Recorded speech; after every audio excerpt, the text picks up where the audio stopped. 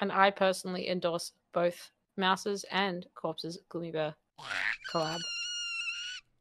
That's the nicest thing you've ever said to me. Oh my god, are you I wasn't- sick?